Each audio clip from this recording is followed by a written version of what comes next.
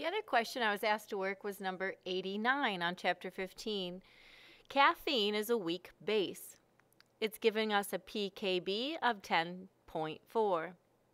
Whereas to calculate the pH of the solution containing a caffeine concentration of 490 milligrams per liter, what would the pH be? I'm going to a fresh sheet of paper.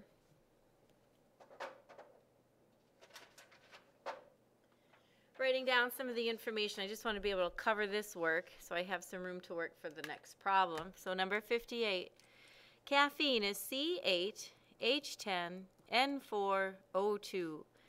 When I place that into water, it acts as a base.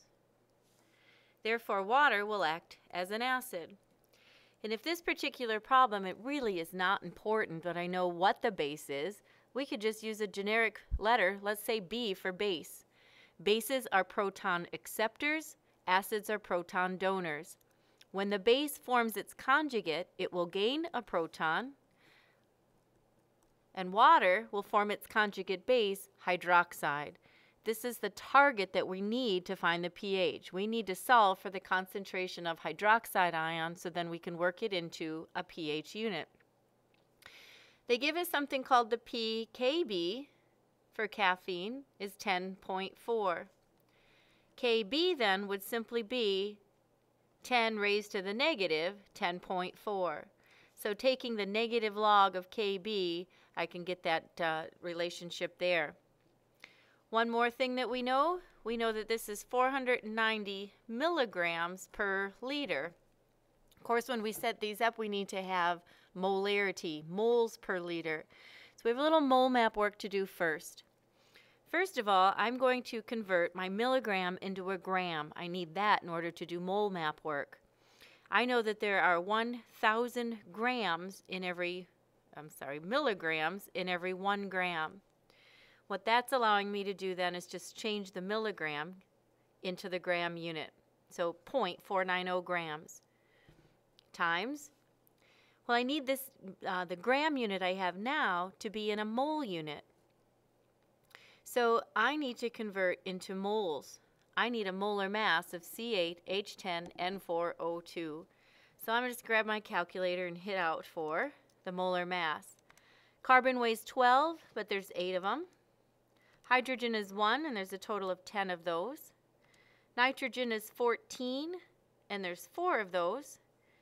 And oxygen weighs 16 and I count two of those. So the molar mass of caffeine, 194. So here's what we have going so far. Step one, the milligrams canceled. Step two, the grams canceled, seeing how that is the molar mass of our caffeine. And now look what we've got, moles per liter, the very definition of big M, molarity. So we'll start by hitting 490 divided by 1,000. And again, that's just simply there to change milli into the unit gram.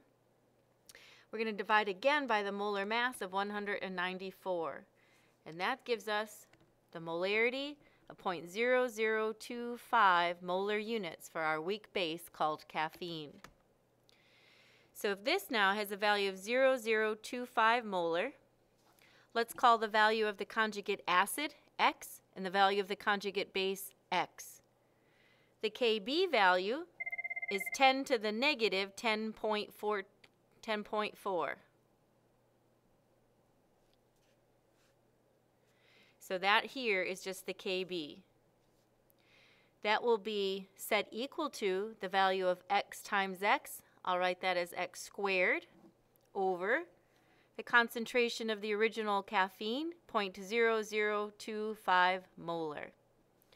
When we solve for x, x is standing for the concentration of hydroxide. Let's get that part first. So, clear screen, we get 10 raised to the negative 10.4. There's my KB value on the screen. Cross multiply with 0.0025 molar. That's the value for x squared. Square root my answer. And the value of x, I'm finding 3.15 times 10 to the negative negative seventh molar units on hydroxide. If I negative log that value, I get something called POH. And of course, 14 minus the POH will be what we were asked to solve for, the pH of our solution.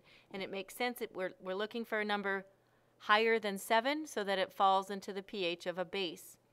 So let's go negative log of our answer, negative log of the hydroxide, gets us a POH of 6.5. 14 minus that answer gives us a pH for caffeine 7.498, maybe somewhere like 7.50 pH units.